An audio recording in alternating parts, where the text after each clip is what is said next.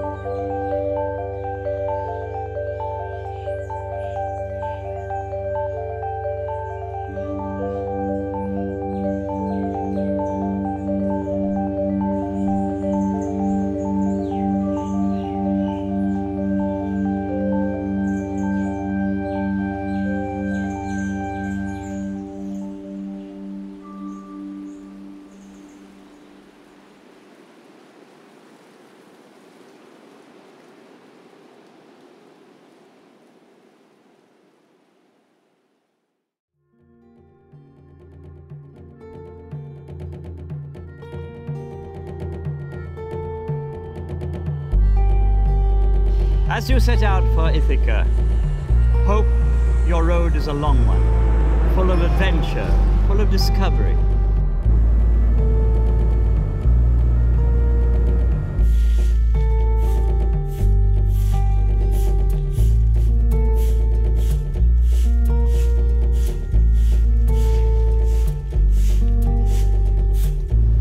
Cyclops and angry Poseidon, don't be afraid of them.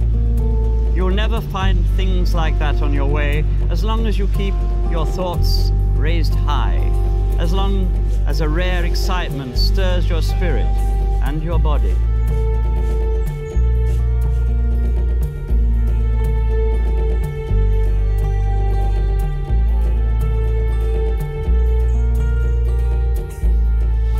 Hope your road is a long one.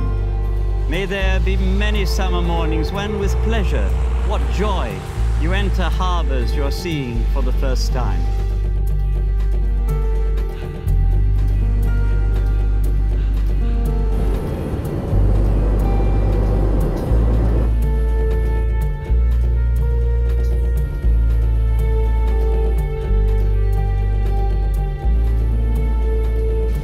Keep Ithaca always in your mind. Arriving there is what you're destined for. But don't hurry. The journey at all. Better if it takes for years, so you're old by the time you reach the island, wealthy with all you've gained on the way, and not expecting Ithaca to make you rich.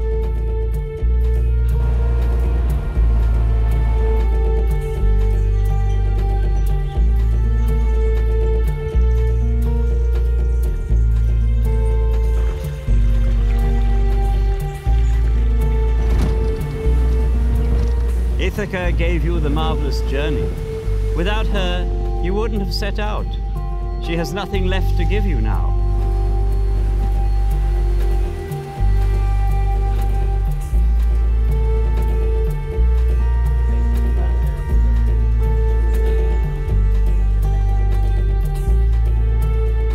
And if you find her poor, Ithaca won't have fooled you.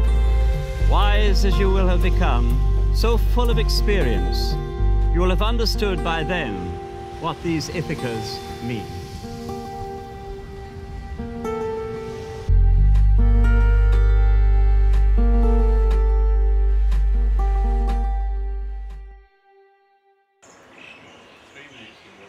¿Graba? You're right about five minutes. Cámara graba. El sonido lento. Two minutes ago. Well, Bren, I think I'm gonna hit you with a big question. That's the first question.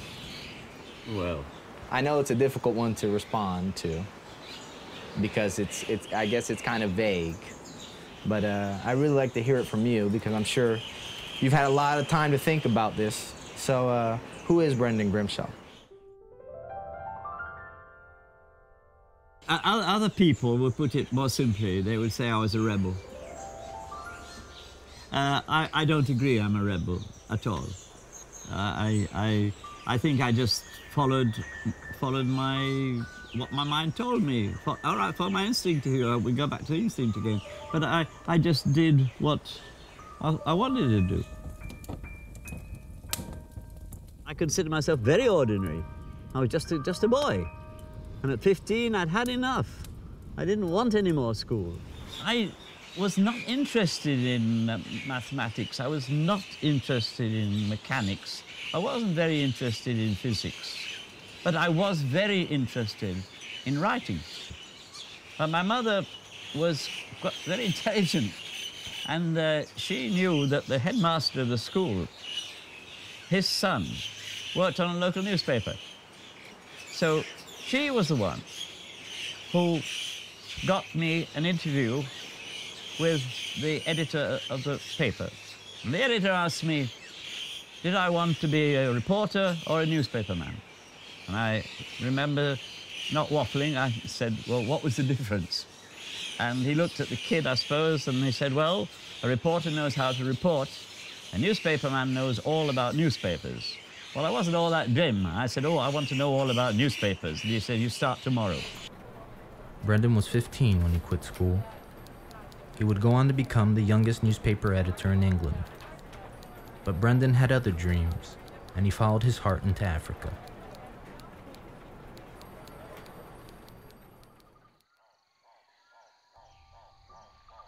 He would establish himself as editor to newspapers in both Kenya and Tanzania.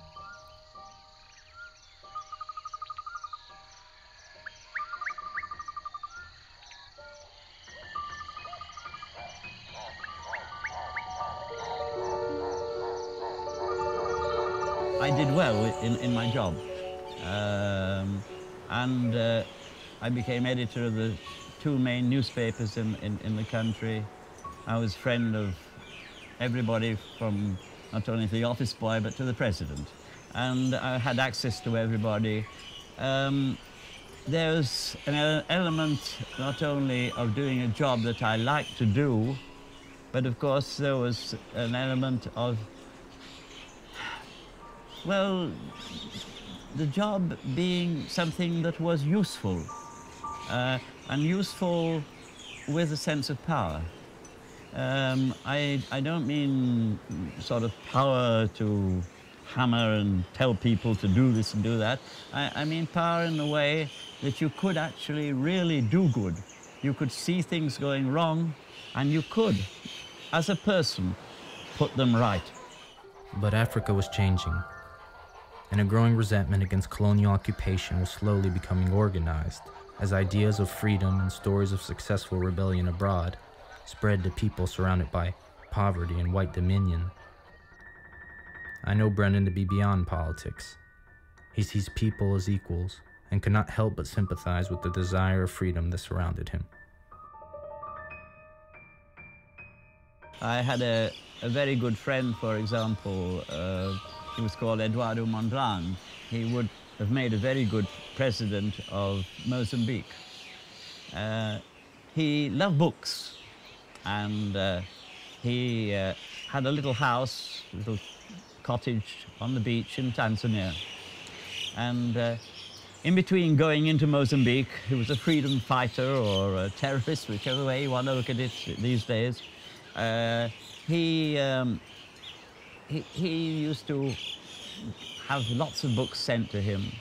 And uh, one day, this man who I used to swim with and joke with, say I was a Portuguese submarine and bang bang when we were swimming off, off, uh, off the coast in, in, uh, in Tanzania. Uh, he opened his, and he was blown to pieces. And I went to his funeral and but uh, I say, yes, it's a cruel world. I mean, he was a good man. He, he, his, I, I know his whole thinking, his whole, whole idea was to do good for his people, to do good for Mozambique. And I'm sure he would have made a very, very, very good president. But uh, somebody decided otherwise.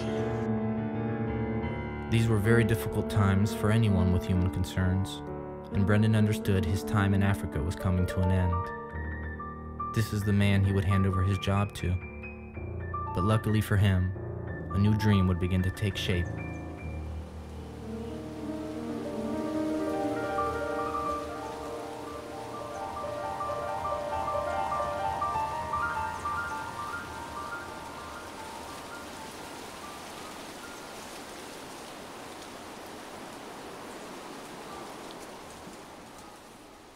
Um, two of my friends had married Seychelles. They told me how beautiful the islands were. And so I caught a boat from Mombasa and I came to Seychelles. But uh, after I'd been uh, in the islands for about a week, I suddenly realized that this is what I wanted. That I wanted, I wanted a place in the, in the Seychelles. At no time did I ever think of anything but an island. And I don't know why. I, I never look for anything but an island. And uh, if you say, well, why, why, why didn't you buy a plot of land or, on, on the mountain or something like this? I don't know. I, I don't know. I have no answer to that one. All I know is that my mind told me an island. And uh, I took, spent three weeks looking, and I didn't find anything. Came the end of my holiday, the last day, I went to visit a lawyer in his office. Living, his office was a, oh, very dry, barren sort of office. It's stacked with tin boxes of deeds, with all with pink ribbons on them, I remember. And uh, he was a very nice guy called Raoul, and uh, we're sitting talking, and his telephone rang. Now, I tell, I tell youngsters, it always pays to be polite, because if I hadn't been polite on this particular day, I wouldn't be sitting on the island as I am now. I got up and went to look out of the window, so I was away from the telephone conversation, and I looked down into the street, and along was coming a guy, 18 year old guy, and he looked up and said, Hey, you want to buy an island? But anyway, uh, he came up. The boy said to me, I've got a boat. Would you like me to take you over? And I said, Yes, very much. So we came across. And I always remember coming across the, the bay, there are some rocks just off Round Island, and they, they look very dangerous. And uh, this boy was fast speedboat went zoom straight through him. I sort of held as a yick. And, but he, he, got, he got me to Moyenne quite safely. And I stepped ashore for the first time.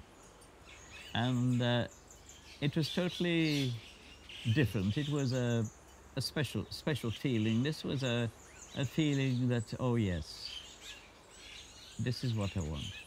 This is the, this is the place. This is the place that I, I really feel, or felt that I, what I've been looking for. And uh, I came up onto the plateau here, where the house is, and there was an old, old, broken, ant-eaten building, which I suppose had been used for picnics. Uh, no one had lived on the island since 1915, a long, long time. That was Miss Bess. Well, it all came crashing down around my ears because when we found the man who owned the island, he said, "Oh, I don't want to. se- I don't want to sell. You know, you can, when you've built yourself up, you've got, you've found something. You know what you want. This is it. What happens when the guy who owns it says, "Yeah, I don't want to sell"?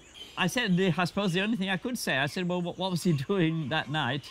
And he said, nothing particular. I said, well, why don't you and your wife come and have dinner with me at the hotel?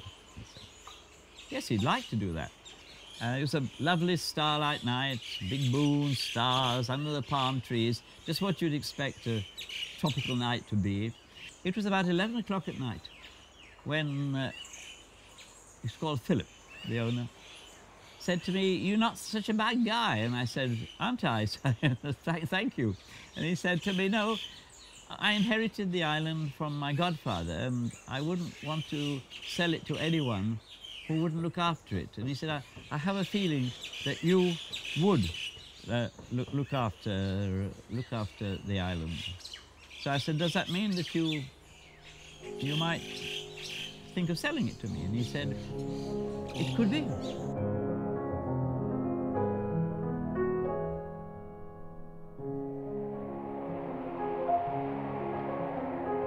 It was four minutes to midnight on the very last day of my holiday that I shook hands with the man and the island became mine. Brendan bought Moyenne Island in 1962 and has been living on it for the past 34 years. In that time, he and his good friend Rene Lafortune planted every tree you see on the island, built every path you walk, and brought every giant tortoise you encounter.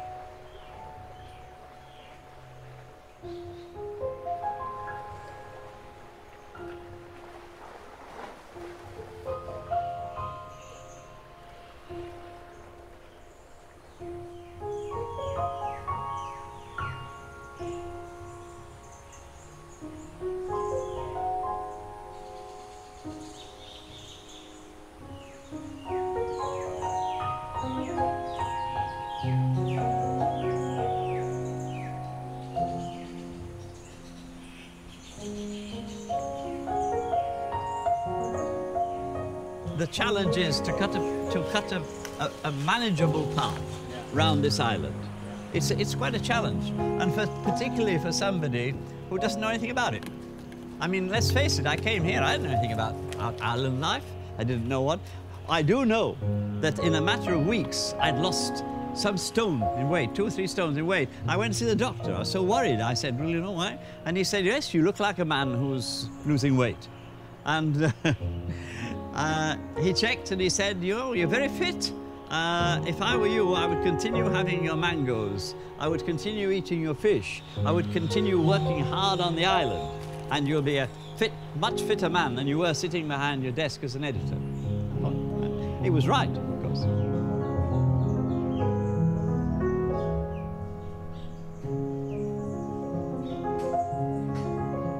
I was able, when I came here, to quite literally put everything behind me. All the things that I'd done uh, as, a, as, an editor, all the things I'd done uh, in, a, in a, a, civilized society, uh, okay, all, all these things I had done, and to be quite honest, I didn't need to do them again. So now I had a different challenge with my colleague, and I, uh, this I have not really mentioned enough, to be honest, uh, a guy called René Lafortune, who was a son of the fisherman who was the guardian of the island before I came here. He started to work with me when he was 19, and uh, what, what I didn't do, he did, or what he didn't do, I did, and so it worked very well. And uh, now there's only me, and it, it, is, it, is becoming, it becomes a little bit difficult. And in fact, it's the two of us who have, in fact, uh, cut the paths. He's often started from one end, and I started at the other, and we met in the middle.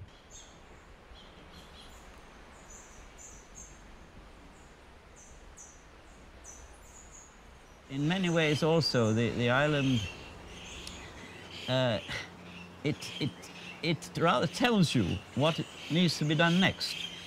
And so you know, first of all, that you must put a path around the island so that you can see what the island looks like. And that was great fun because uh, I had no idea what I was going to find as we cut through the bush. And we found the site of the first house, we found two pirate graves, we found all sorts of things. And uh, we realized that there was too much bush. In fact, we realized it was nearly all bush. And uh, so we decided, well, better to start putting in some trees and making the island not only look good, but be useful. And uh, so we started, and today, right, 16,000 trees and, and palms and shrubs are well established on the island. It looks a totally different island. So when you when you ask us ask me what you know how how did it how did we start to work, it it all sort of evolved of its own accord. Uh, it's just a question that we had to have a house to live in, we had to have paths to cut, and then the birds came, and then we had to have more trees. And then we realized how, how beautiful uh, the island could be.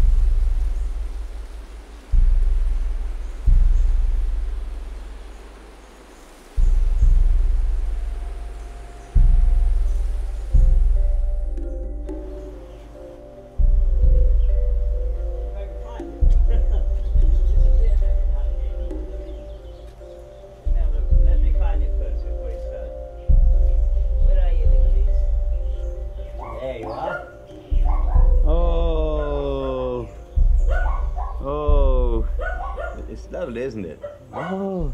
And it's flat underneath, it's a little girl. Oh. Has a small tail. And it's dome shaped. Oh. And this is the kindergarten. And then over there are the teenagers. But it is possibly the only place where you can come ashore And as you walk around the island, you bump into and meet uh, tortoises, giant tortoises, ambling along, happy and free, uh, living their lives, having their babies. Uh, this is something really very special.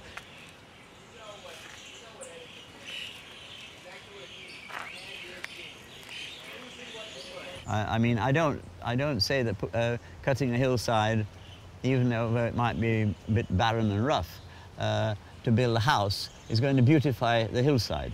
Uh, that's that, maybe it would be better to plant a few trees, but at least you have to have somewhere to live. And uh, so, okay, we, we realized let's do it ourselves. And uh, over the years, one question been asked by time, why didn't you get people come and help you? Come and help us. We, we, we, would, we would have to do work just as hard bringing them here and taking them back and looking after them. It's much, much better for us to, to, to, do, to do the job. It's, it's fine to, to drop by just for a day uh, and see the beauty of the place. But then you've got to keep the place clean. You have 2,000 coconut trees, and uh, every month they drop at least two big palm fronds. Now, if you leave them lying around, the place will look a mess in no time at all. And this is only a, a minor job that nobody ever even thinks about. It's not for everyone. And uh, bear in mind, for example, had I been married, it would have been uh, a little bit difficult because the wife would have been wanting to shop around the corner. Uh, she, she, would not have liked the idea of no electricity, no piped water.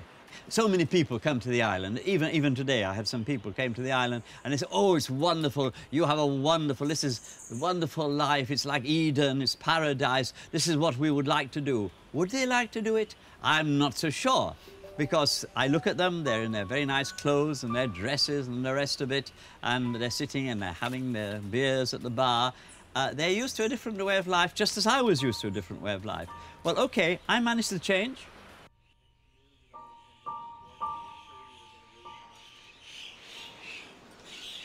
When I lay in my bed in the house where we lived when I was a, a boy, it's coming back a bit, um, and looked out through the window, there were some beautiful trees. And of course, uh, unlike in, in, in, in, um, in Seychelles here, the trees lost all their leaves in wintertime. And I used to lie back and I used to look at the trees and would make all sorts of stories out of them and think and pictures and faces of people and things like this.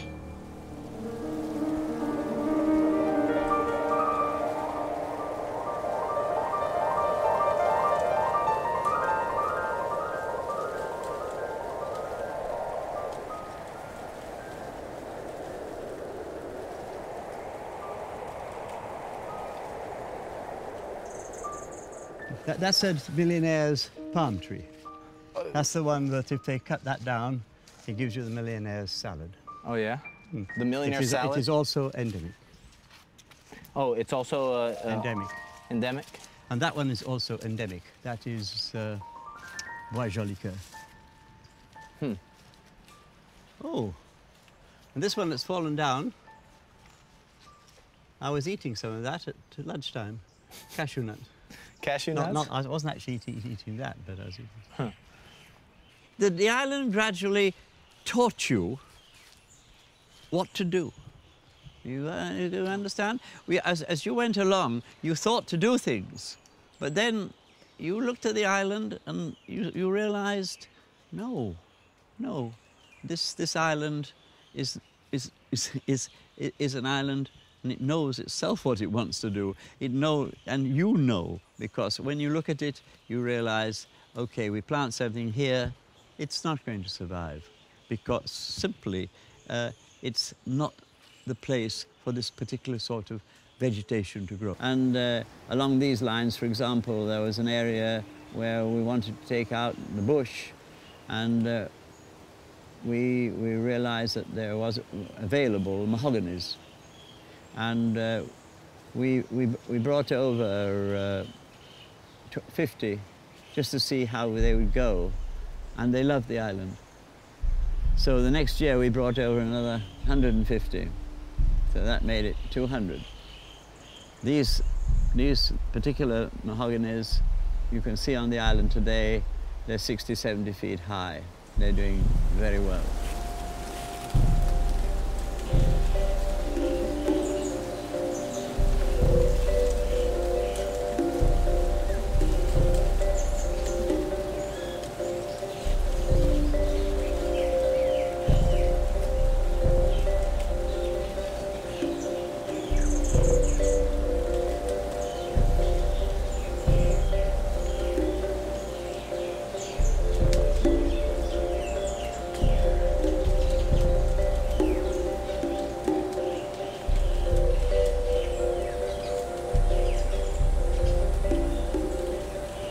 So we have actually planted 700 mahogany trees on the island. But you see, the first thing that people talk, say when you talk about or they see the mahoganies is, oh, they make beautiful furniture. They, they, they see them as a source of, of, of uh, wood for, oh, you name it, boats, housing, furniture, or anything. They don't see it as a tree. And this is, I see it as a tree. I don't want to cut it down. I didn't plant it to cut it down. I planted it because I wanted it to be there. It's all right. It's all right. You're gentle. It's okay. hmm? It's okay. It's all right. You know me now. You know me now. Isn't nice? It's nice in there. There was fish fish there. There's a nice in there. Mmm. Yes, nice in there. Yes. Oh, yes. Broke his leg. Broke his leg, but now, now he's feeling a bit better. Mm. Mm. Okay. Good little bird. Come on, put you down. Go down. Steady, steady, steady, steady. Oh, we're going to be a big, big bird. Look at this big wingspan. Look, oh, very big bird is going to be. Thing which, when you talked about dreams, there was one dream which used to come up, uh, and I've never forgotten it. And that was, if ever there was a steamroller, I, I'm talking, I've talking about dreams, so it's not, not all that stupid. If ever there was a steamroller in, in the dream, it was bad, bad, bad, bad, bad, bad. I was to keep away from steamrollers because steamrollers meant the destruction of nature. All right? And in a way, if you want to come full circle, I would not want to see a steamroller on this island.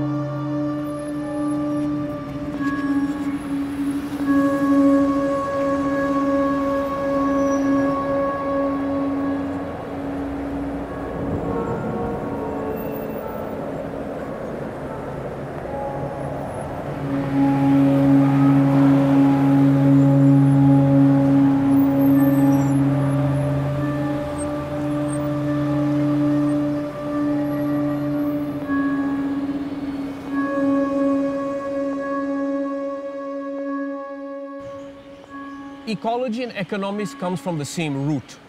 They're to do with our house, which is the natural environment. And basically, we have to marry the two, if the two have not been married already. And it's funny because it seems like there are these two forces, opposing forces, Yes. you know, that are colliding right here on this island. Yes, they are. Uh, there's no doubt about it. If you here, here we are in the heart of a marine national park. We're one of five islands in the marine national park. The other four islands have all got hotels or about to have hotels, some very big hotels on them. Environment is very important for the Seychelles because basically um, we live off the environment. Um, the whole economy is based on the environment. We earn our living from tourism and from fisheries and everything else, every other activity which brings in um, a revenue for the different households and livelihood is directly or intrinsically linked to the environment.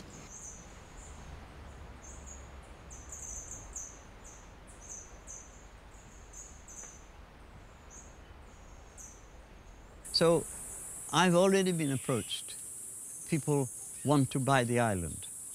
And my fir first question is, what do you want it for? They don't say, oh, I want it because I want to come and live here. It's so beautiful and uh, I won't mind people coming and seeing the island. No, no, no. They say, oh, we want it because it's ideal for, like the other islands, build, building a hotel. So what do you do in the, in, for future generations of young Seychelles? What are they going to do? How much did they offer you for the island? There's a lot of money. More or less. Well, it was uh, something like 24 million Pounds. pounds. I said that Brandon that keep on doing, do not sell his island or the people will destroy the animal and destroy the environment.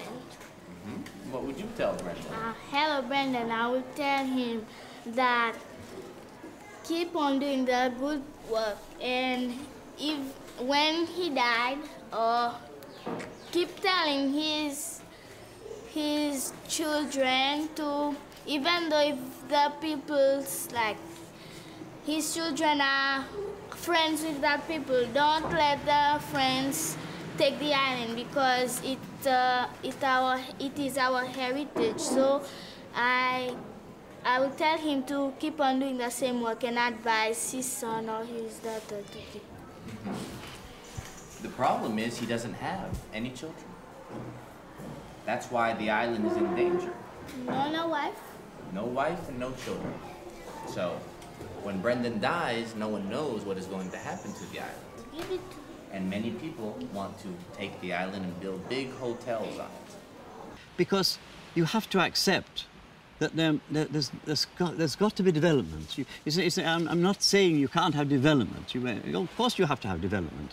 Uh, otherwise the, the future generations won't be around. But you have, if, if you, you've got to balance it, you've got to be sensible about it. You've got to say, okay, we, ha- we, four of the islands have gone now, oh, let's keep this one.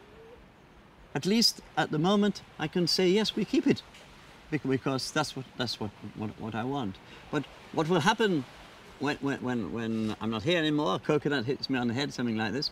Uh, okay, uh, so I've set up the Moyenne Island Foundation. We've created a foundation, uh, which is a, a self-perpetuating foundation.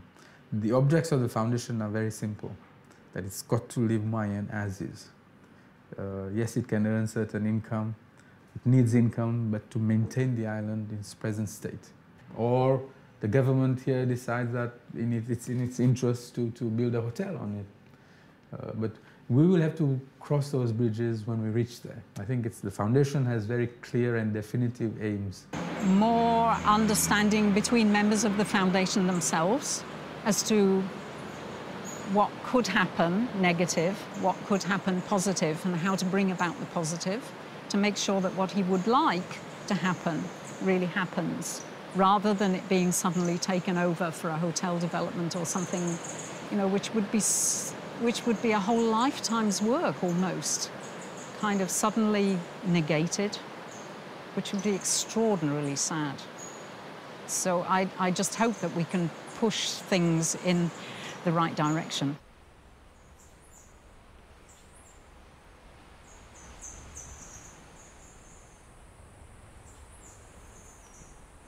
But on many of the other islands, they've come up with a different kind of formula, an economic formula where the five-star hotel pays for the conservation of the island. What do you think about this formula that's being used here? Well, we think it's a good idea simply because we started that idea. BirdLife International started that with Frigate Island about 20 years ago. And Nature Seychelles then came and continued the work of, of uh, BirdLife International. And we've been able to develop these private partnerships with hotels like Frigate Island, Cousine Island, which is the neighbor to Cousin, with Bird Island, with Denis Island, where we have five-star resorts. And this is a formula that's working. It's working because other organizations have also adopted this kind of formula. So what do we do? We, we, just, we just write it off? We say, oh, forget what we did. And the, the free roaming tortoises, oh, let them all be packed up and sent somewhere. The birds, oh, we don't need to feed those. Leave the 2,000 birds that we've encouraged to come here. And all these very nice endemic plants, trees, palms that are found only in Seychelles, nowhere else in the world, and we have most of them growing on this island. We let them be cut down so that the villas and things can be built. Of course you don't do this. If you, if you, have, any, if you have any real thought or any thinking of the future. Morning.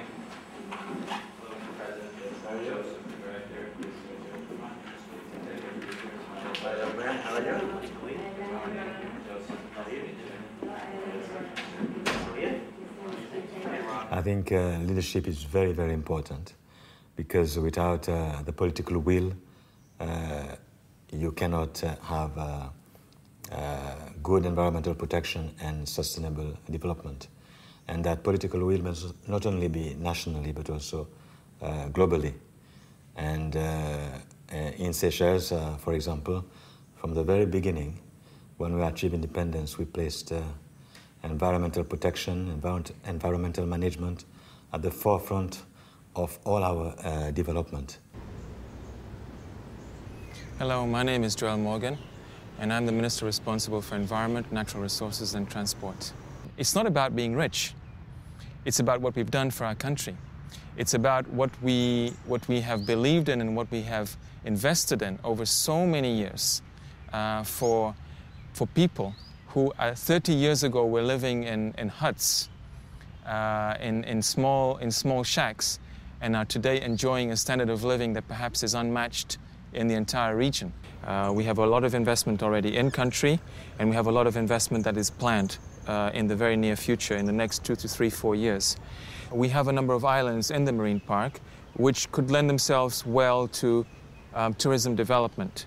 So why not allow that, but at the same time ensure that you have very, very strict uh, environmental uh, um, um, parameters and environmental guidelines that they operate under. Um, here we're talking eco-friendly. We're talking of, of things that basically would allow the economy to benefit. My name is Rolf Payet from the Seychelles. I'm the special advisor to the president.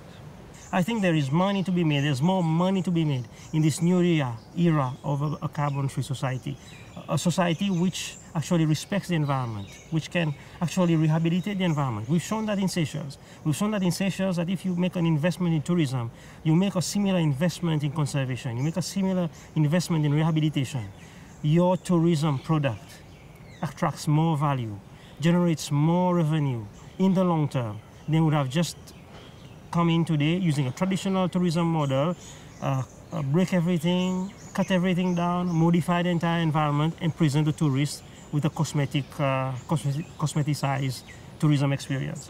Many of the, these islands are really out of the reach of the normal Seychellois or the normal citizen of the world. The point is that we are using the money of rich people to conserve biodiversity that could have been lost if that money had not been accessed. So I think that's the point we have to make. If there are people with money and they want to take this money and give it to conservation, let's do it. It saddens me that we can sit here and wonder about the future of Moyenne when it seems like there could only be one future for Moyenne. Yeah and it's the one we're sitting in right now. And I just don't understand how there can even be an issue regarding that. Well, I'm, I'm, I think I've said, if you look around, if you, you have five islands and four of them have got big hotels. The fifth island is sitting there and the people who control things. No, I don't. I'm not being political or anything like this. But people who are interested and greedy. Yes, greed is a good word because it, it, is greed. Uh, have another one. It's not. They use another word to, to, to. They say development. They get away with a lot of a lot of bad things by using the word development. Voy a hacer un plano de detrás así del rollo. Estaba pensando con el día cuando el mercado entraba en el mercado y que cabeza vi claro, Moyen sería salvada.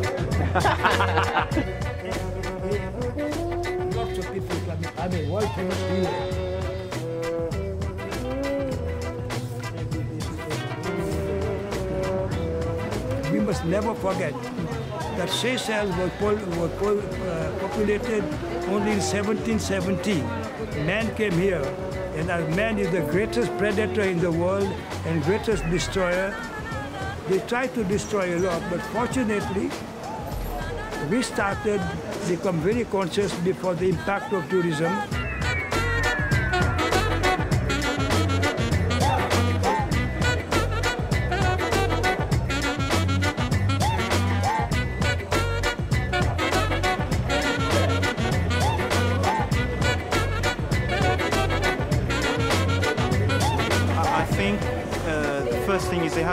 Realize that it is special.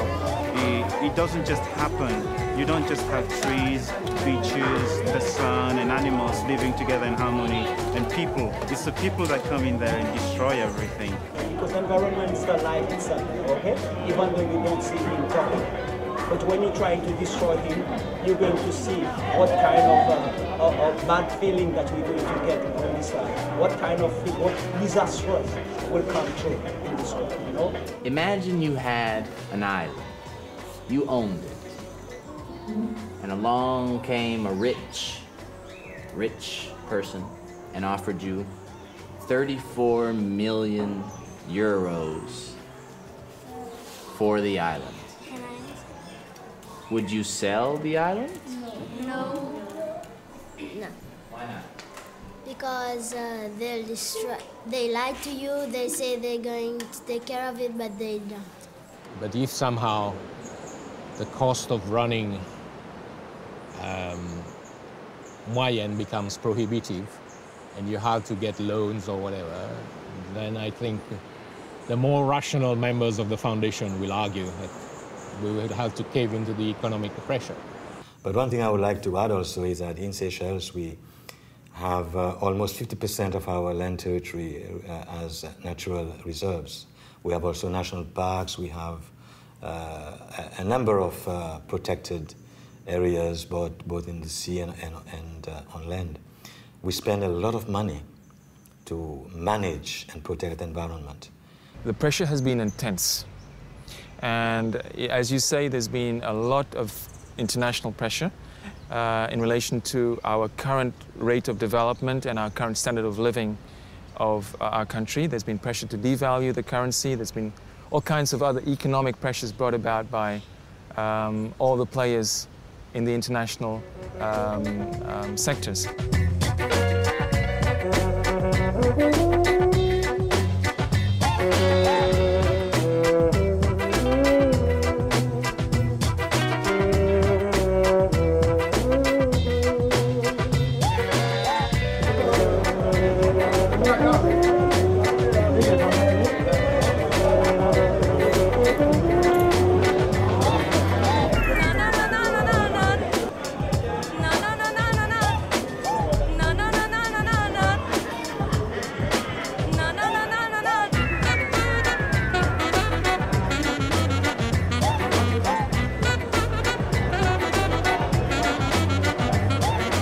It's the responsibility of government to negotiate properly with the invest for investment, and it's the responsibility of the investor also to be careful of the Seychelles people. You cannot just come here and get money.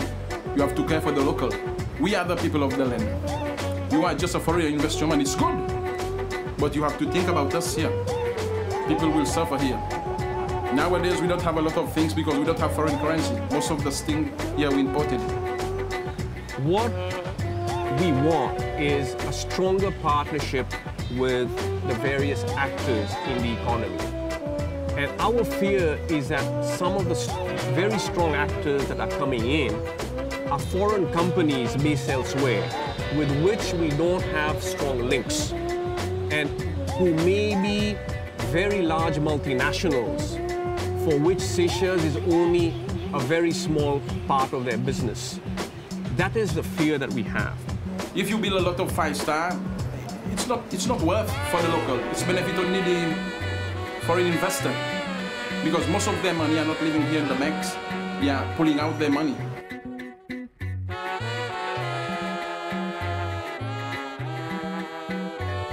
It's been a test of strength and a test of determination when it comes to can we maintain and can we continue to, to have the Seychelles that we have always known. There's been tremendous pressure uh, on us to change things.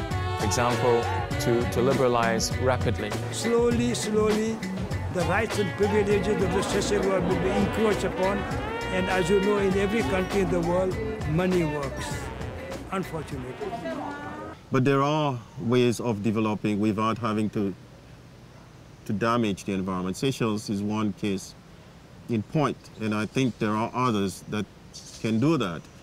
So if we have such models, if there's enough people of goodwill and people are aware of the issues, people start engaging themselves in, in making the, the necessary changes in their lifestyle, then we, we will eventually get there. I'm personally optimistic. I mean, it's a question of whether you believe in it or you don't. I, I console myself that um, when you have something like tourism, it's cyclical. You know? The cycle seems to be you have somewhere totally unknown, then somebody knows about it and they open it, and then only the very wealthy can get to it, and then they move on somewhere else. Then it becomes more sort of down market. Then you get mass tourism, and then it's destroyed and they move on. Somehow in Seychelles, this cycle hasn't quite happened yet. It's been dragging on and on. But the signs are that we will make the same mistakes.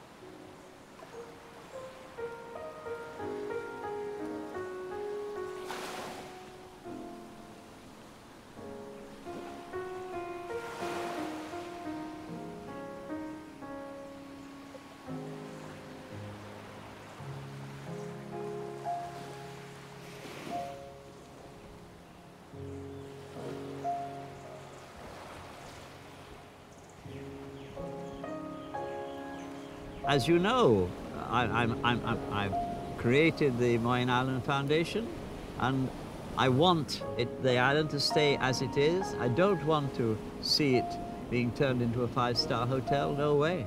We, you, a man doesn't spend 30, 34 years of his life so far creating, trying to create something a little bit special, something that's natural, like, a, in fact, creating a nature reserve.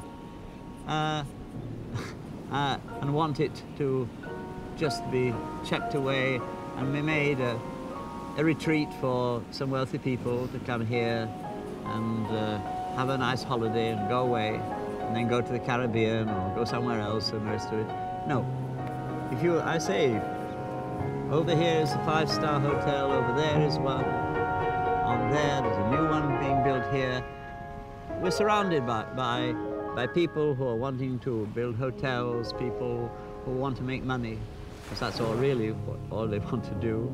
Uh, I understand the need for development, but at the same time, there has to be some sense in it. And the sense in here is that goodness enough. Hotel, hotel, hotel, hotel. This is the only one with nothing here. Oh, for goodness sake, let it be.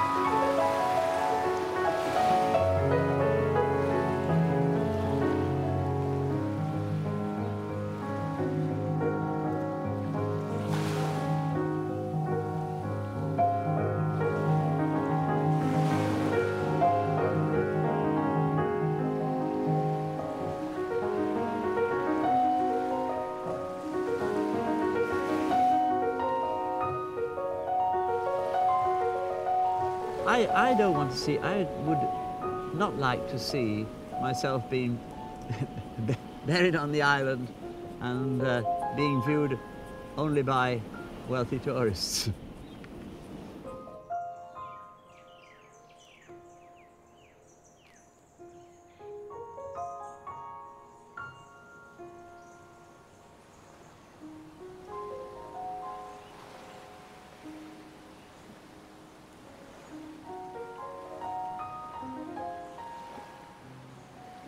I am with all those gadgets and with the product of all that development, asking whether we should cut down.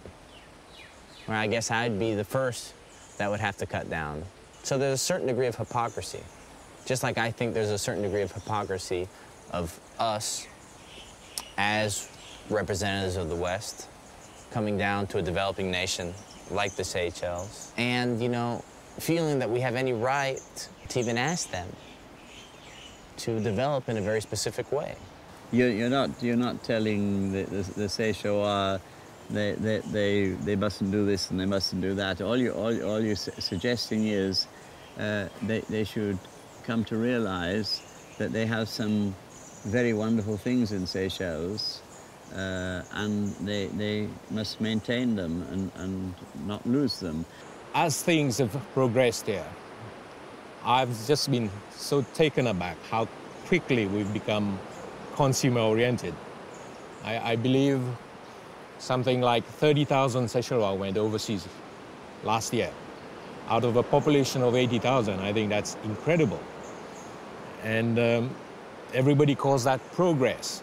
I can't help feeling, you know, if you were to talk about what's really important, why are people paying so much money to come here? To see our way of life, and we're trying so hard to become like they are. Rat race, you want uh, more material things, and so the, the, the irony I find really sad. What we see in big cities consumes the varieties being having um, all sort of stuff thrown at you you know, from the TV, from the newspaper, from everywhere you look. Um, you go into the supermarket, there's 110 different items on the shelves, and you've got a problem to, to choose what you need to consume. But on a small island, if you go to a shop, then you know exactly what you need because there's so few on there you know, and you just grab it. You don't even think about it. I've been living on the island for 34 years. I could, coming back to the island and with the prices increasing as they, as, as they, ha- as they have, that the island is worth several million, million pounds, uh, I could say, well, what's the point of my cutting bush and doing all the jobs I do day after day? Uh, sell the island. There's plenty of people want to buy it to build, build a hotel. And then I've got, so, I've got enough money to live the life of Riley, as I say, live a wonderful life, uh, cruise around the world. I like, I like cruise ships, but cru go cruise around the world and, and, and spend a wonderful time seeing the world and enjoying myself. Although people think that this is the perception of happiness, it's, it's not. It's, it's really the, the simplicity of living on an island, which is, which is the quality of life. And the quality of life, the high quality of life, is your happiness, really. I can do it if, if I sold the island. But, but, but, but, I don't want to. I'm, I'm, I'm happier to get my hands dirty. I'm happier to not be greedy for a, a, a wonderful life. I'm, because I enjoy what I do, I enjoy being with nature, and also, I also appreciate the fact that what I'm doing is useful.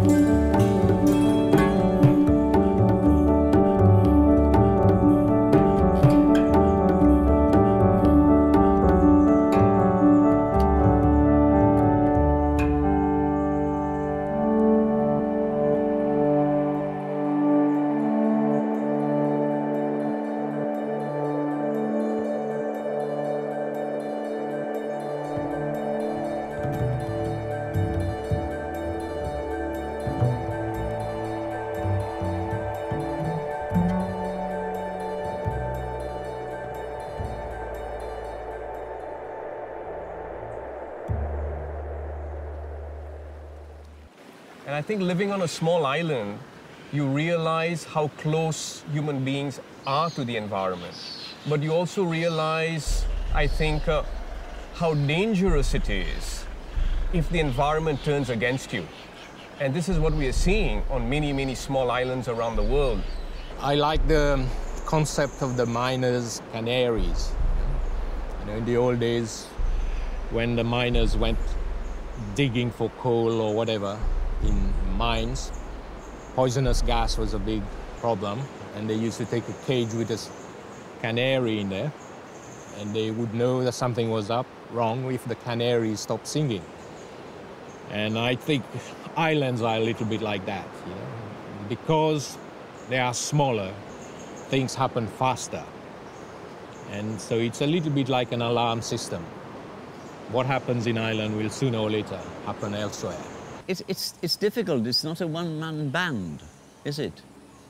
I mean, what I would like to, to do, yes, I, I would like, I would like some very firm action to be taken uh, along many lines uh, to, to stop, stop the pollution.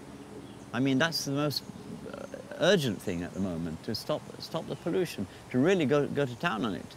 But uh, it, it's, it's, it's needed, it needs more than one man on an island. One man can do things on an island, yes, because it's, it's, he's got the say, and, and also it's, it's very small. And he can actually physically do it. And I wish to emphasize here, poverty is very much linked to, to environment. If you don't solve uh, the politicians, you don't solve poverty, you won't be able to solve the environmental problem. And on the other hand as well, among, among the developed countries, if you don't solve the consumerism, you don't solve the awareness issue, you won't be able to solve and address the environmental issues, you see? So there, there are all these links, inherent links with, with the way politics is run at the global level. But I think the world, the rich world, the industrialized world, is not doing enough. Look at little Seychelles. Little Seychelles with, little, with uh, limited resources. We spend so much to try to preserve the environment, the environment and retain the Seychelles as one of the last paradise uh, spots on, on, on Earth. Not only for us, but for people of the world to come and, and enjoy it and live it because they have destroyed their parts in other, in other parts of the world. But then they should help us to, to sustain it, to develop it, and to, and to maintain that last piece of paradise that we still have on Earth. But as you know, money is spent in different ways, uh, destroying, destruction, killings, and so on, wars. And uh, I think there should be more a global conscience. So we were talking about what you would tell adults they should do to help save the planet, right? Yes. You, you are telling them to stop, stop our environment. Like, don't destroy it because if we don't, if we don't know how to use our planet, the planet will take us off of it. I would tell them to use use cleaner fridges that don't have CFC, CFCs, drive less, mm, ride bicycles or walk, Help the poor. um, keep keep the everywhere clean, and stop the bombing and killing. Brendon, you have a great relationship with your instinct. Yeah. And I'm going to ask you a difficult question because the They're answer. all difficult. No, this one is difficult All right. for what it implies. Yes, okay. What do you really think is going to happen to Moyenne? Oh dear. Yes, that that that that, that is that that is difficult. Um, I don't know. Um, I know what I would like. I already said I would like to see Moyenne continue to be a welcome, welcoming place uh, for young future young Seychellois, for visitors from all over the world. That's that's what I would like to see. Uh, but I, I'm not foolish uh, and to say, well, everybody's going to be in agreement with my ideas.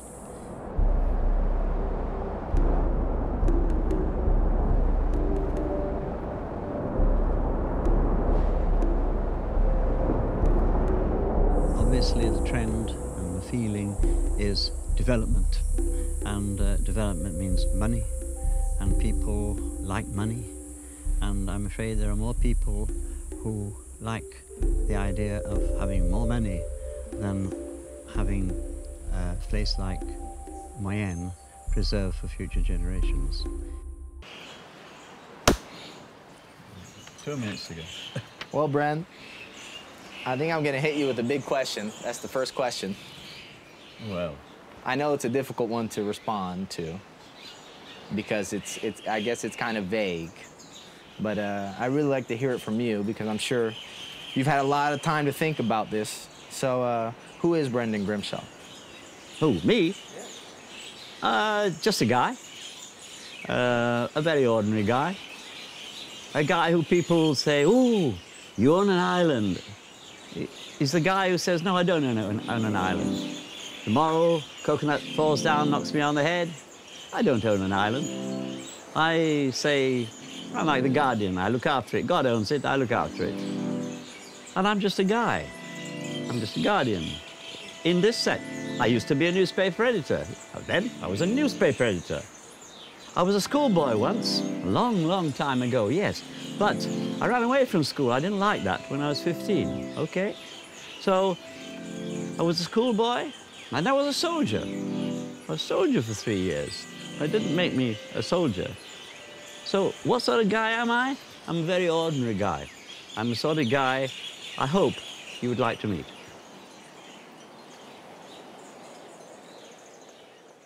This journey began with a question.